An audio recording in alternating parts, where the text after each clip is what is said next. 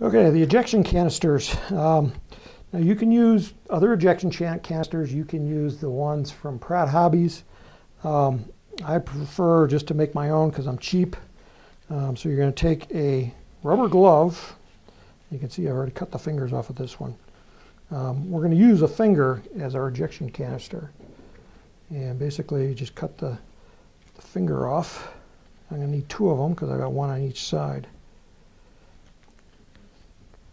Now this is the ejection canisters and basically what's going to happen is it's going to go into here with some black powder.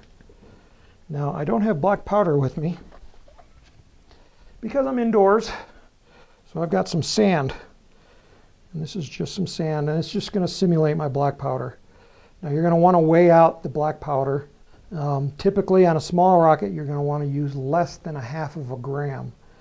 Um, this is probably too much if this was black powder. Um, it doesn't take a lot of black powder because we only need to pressurize a small area. So if you use too much black powder, you're going to explode your rocket apart and the things are going to break. Uh, probably you're going to rip the shock cord out of the, uh, the loop right here.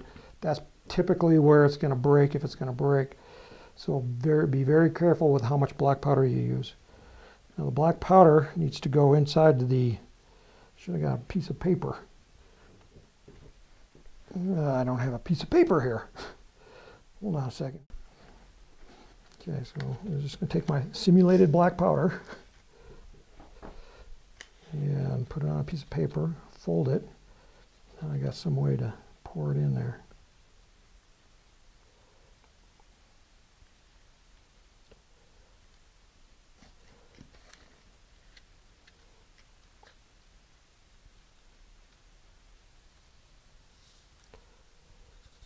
Okay, so this is an ejection canister, simulated, and you're going to stick it in your over the igniter. You're going to do you're going to do this twice.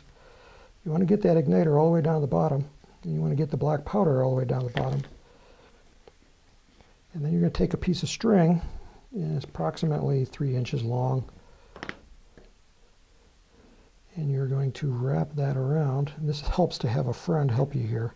It's kind of like wrapping a Christmas present where you need somebody's finger so you can get it nice and tight. Same concept here.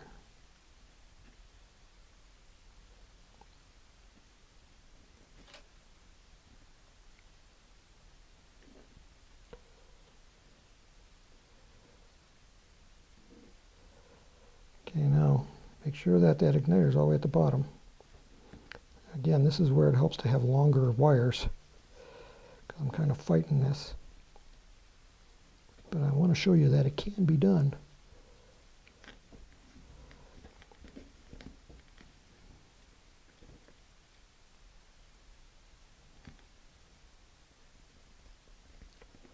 I missed.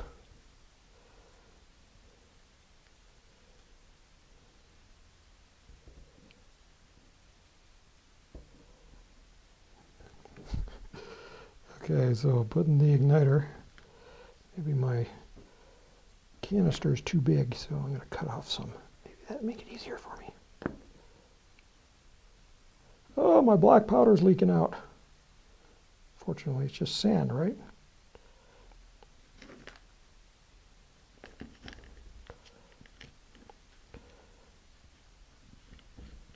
Ah, I just dumped all my black powder.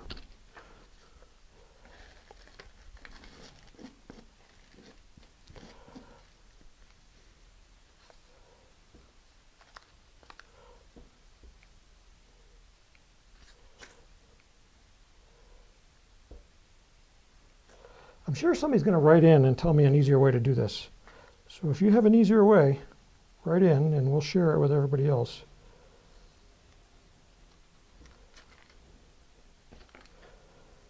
Again, longer igniters.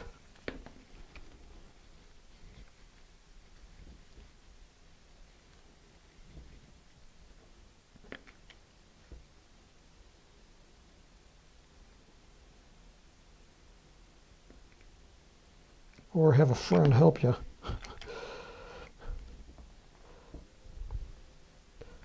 longer string.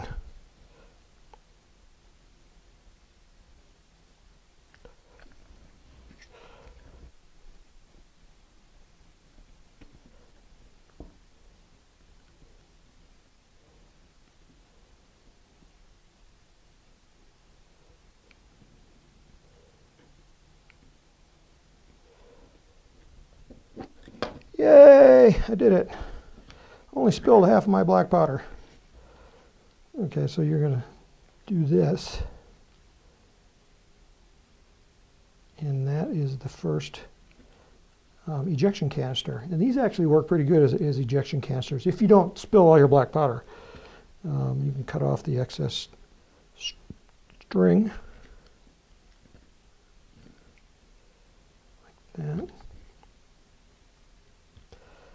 And this one is going to go into here. Remember to put in your wadding first.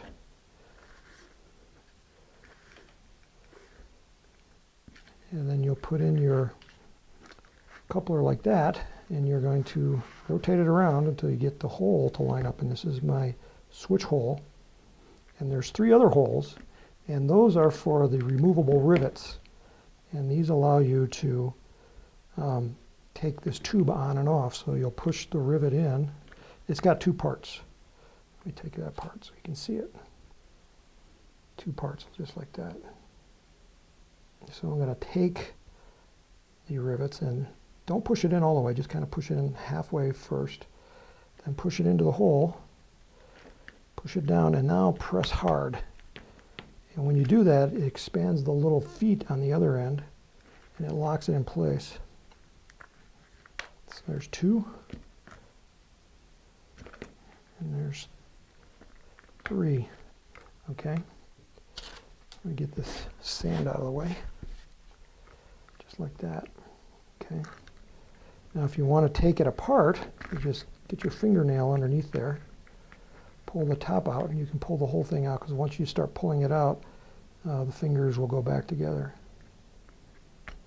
But that locks everything in place so you can um, keeps everything, so only the parachute's going to come out the nose like this instead of the uh, coupler coming out. And we still have a hole here that we can turn it on. When you get out to the launch pad, you'll just push the button and it starts up your altimeter. Um, so now you'll do the same thing with the other ejection canister, which is a tip of a finger from a rubber glove, and the black powder. So imagine that's there, and you want to lay that as close to the side as possible. Now on this end, for such a small rocket, um, we don't want to use an, a parachute because um, it's going to drift and that defeats the purpose of dual deployment. Now you could attach a streamer here, um, or you could do a technique that's called drogueless recovery. And drogueless recovery means you're just using the shock cord to keep everything together um, and with no streamer, no parachute, this thing's going to fall like a rock. Essentially, the shock cord becomes the streamer. So at ejection, it's going to blow it apart like this. So I could put everything in together. Now, if I was using a streamer, I need to put wadding into the tube, and I need to put it in two places. I need to push it down to the bottom because the ejection charge of the engine is going to blow off too. And then I need to put a piece between my ejection canister here in the streamer. So the streamer is going to go in the middle between two layers of wadding. But if you're not using any streamer, when you're just using drogueless like this one is right now, I don't need any wadding at all because there's nothing inside to burn. So then this would go there like that. So essentially the rocket is ready to fly. Uh, we just put in our rocket motor um, and then turn it on and um, fly the rocket. Now, two things that you need to, to remember first. Um, one is you're going to have to reset your altimeter um, for the main parachute. Because this rocket is smaller, it's not going to go as high as a typical high power rocket. So typically a, a high power rocket deploys the main uh, somewhere between 600 and 900 feet in altitude. If this rocket doesn't go that high, the main is going to come off, it's going to eject too early, it's going to come out at apogee, and now your rocket's going to drift, and that defeats the purpose. So you need to reset the altimeter and check your altimeter instructions on how to reset the altimeter. Essentially what you're going to do is you're going to move the main deployment down from, if it was 900 to begin with, you're going to move it down to a lower altitude, maybe like 300 feet. Uh, your rocket has to go that high or, the, or you're not going to see dual deployment. And the second thing is you need to choose a rocket engine with a really long delay.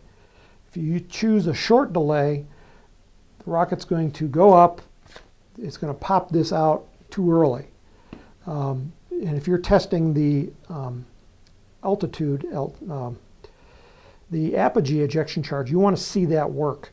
So if you choose a long delay, it goes over the top. And so now, if it fires off, you know it was this charge and not the rocket motor. So if everything works correctly, what's going to happen is the rocket's going to go up, hits apogee, it separates because this charge goes off. And then it starts coming down, and you know, and if this is set for seven seconds, it's starting to come down, and you're going to hear a second, poof, which means this ejection charge went off and it's still falling down. And then when the main, you know, gets down to that low altitude, maybe it was 300, whatever you set it at, then this comes out, pulls the parachute out, and now this deploys. And so that's how dual deployment works.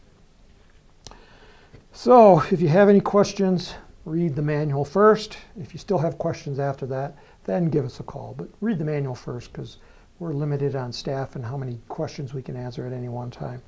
So my name again is Tim Van Milligan, and come to the Apogee website at www.apogeerockets.com.